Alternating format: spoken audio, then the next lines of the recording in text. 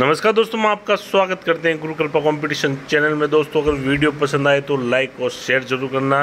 Video subscribe नहीं किया तो अभी तक सब्सक्राइब ज़रूर करना। चैनल पर नए आए तो दोस्तों, सुबह से कम से कम आठ दस फ़ोन आ गए और ये उन्होंने प्रेस नोट भी भेजा है कि सर, ये परीक्षा से पहले हमको टेंशन हो गई है और एस परीक्षा को लेकर परीक्षा तिथि को लेकर बेरोजगारों में आक्रोश है। क्योंकि इधर रीट की तैयारी करें या एसआई की तैयारी करें या पटवार की तैयारी करें, कॉलेज लेक्चर की तैयारी करें, सभी एग्ज़ाम आरएस की तैयारी करें, सभी एग्ज़ाम एक साथ होने से बेरोजगारों में बहुत ही बड़ा आक्रोश है। और राजस्थान कैबिनेट मंत्री रघुजी शर्मा ने क्या घोषणा की है?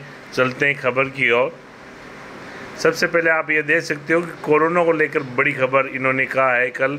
चिकित्सा मंत्री डॉक्टर रघु शर्मा का बयान, सितंबर मध्य तक कोरोना की तीसरी लहर आने की संभावना।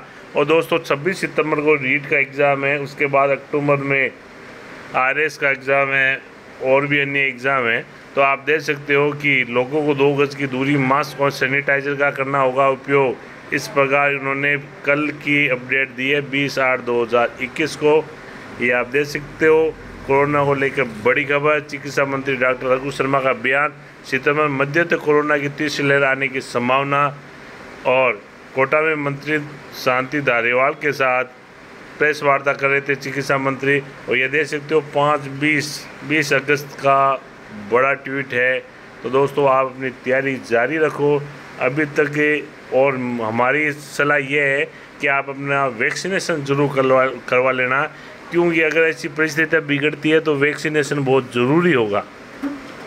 अब ऐसा ही परीक्षा तिथि आगे बढ़ाने की मांग, कई विश्वविद्यालयों की परीक्षा तिथियाँ भी टक रही आप देख सकते हो, कोटा विश्वविद्यालय के विद्यार्थियों ने राजस्थान लोक सेवा आयोग, सचिव शुभम सोत्री को ज्ञापन देकर पुलिस उप निरीक्षक कमांडेंट भर्ती 2020 की तिथि आगे बढ़ाने की मांग की है।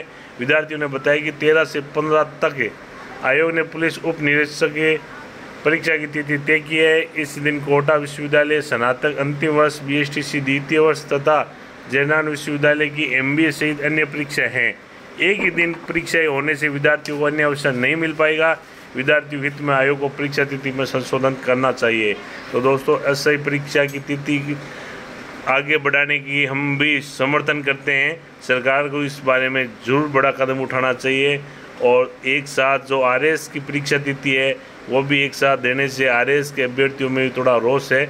अगर इसका भी दो महीने अगर आगे होता तो बेरोजगारों को फ़ायदा होता। इसके अलावा आप यह देख सकते हो, राज्य के सात सौ तीन प्राइमरी स्कूल अब अपर प्राइमरी। पाँच सौ इकसठ स्कूलों की लिस्ट जारी की है, लेकिन सात सौ तीन स्कूल है। तो दोस्तों, पद बढ़ना अनिवार्य लग रहा है कि कन्फर्म में सरकार अपने प्रयास प्रारंभ कर दिए, जब घोषणा हुई थी तो इकतीस हज़ार पद भी खाली नहीं थे, आज पचास हज़ार के करीब पद खाली हो गए हैं। इसके अलावा आज केंद्र ने खत्म किया सरकारी नौकरियों में चार फ़ीसदी दिव्यांग आरक्षण। हम इसके खिलाफ है, सरकार को ऐसा कभी नहीं करना चाहिए, दिव्यांग भाई कहाँ जाएँगे हमारे? इनको सरकारी नौकरियों में चार परसेंट आरक्षण देने से इनको एक संबल मिला हुआ था, ये लगातार अपना प्रयास कर रहा था, कर थे। ये आप देख सकते हो, आज की ये बड़ी अपडेट है, सरकार को इस बारे में वापस कदम उठाना चाहिए। सेंट्रल गवर्नमेंट ने ये बहुत गलत कार्य किया है। हम इसका विरोध करते हैं और इसका, इन भाइयों के हक में बिल्कुल आवाज़ उठाएँगे। अब इससे संबंधित जो भी है, नीचे कमेंट बॉक्स पर बिल्कुल लिखे। और अगर इस वीडियो को अभी तक आपने सब्सक्राइब नहीं किया है और वीडियो शेयर ज़रूर करें, क्योंकि दिव्यांग भाइयों के साथ बहुत ही गलत हुआ है। इसके साथ जो असाई की तैयारी कर रहे हैं, उनके साथ भी गलत हुआ है। तो वीडियो सुविधा ले रहे हैं। जय हिंद, जय बात वंदे मातरम।